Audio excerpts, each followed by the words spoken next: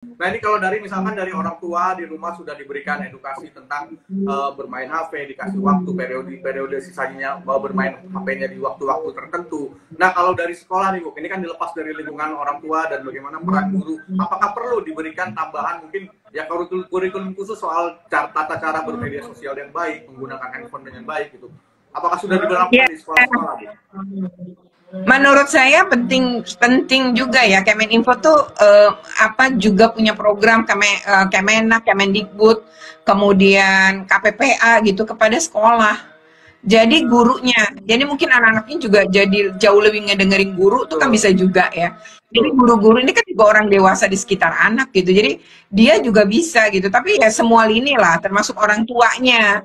Tapi guru juga menurut saya menjadi penting karena uh, guru tuh bisa uh, apa apalagi di SD ya di jenjang SD anak tuh lebih dengerin kata gurunya gitu kan. Kalau mereka kata orang tuanya kan kata ayahku kata ibuku tapi begitu SD dia lebih bilang kata bu guru kata kata guruku. Itu lebih didengerin. Ya kalau udah SMP baru kata teman kan kata temennya gitu.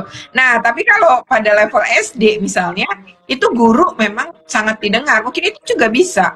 Ya untuk hmm. memberi edukasi anak-anak uh, bagaimana menggunakan media sosial, uh, bagaimana menggunakan gadget itu dengan benar dan menghindari dia kecanduan. Jadi anak-anak ini juga mesti diajarkan. Jadi dia juga bisa bahkan ngasih tahu orang tuanya kan beberapa iya. anak nggak boleh kata ibu guru tuh apa uh, nonton ini lama-lama nggak boleh gitu. Memang aturan main itu penting dibuat dan jangan kasih handphone ke anak tuh sebagai hadiah tapi berikan handphone itu sebagai pinjaman.